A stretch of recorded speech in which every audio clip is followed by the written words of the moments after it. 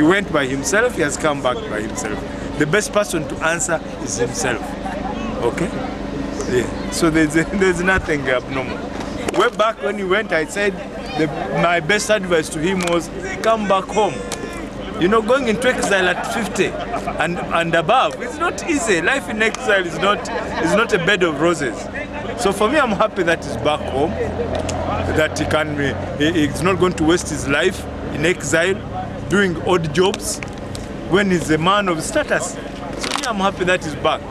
The M23, we, we think we have hosted them for long enough.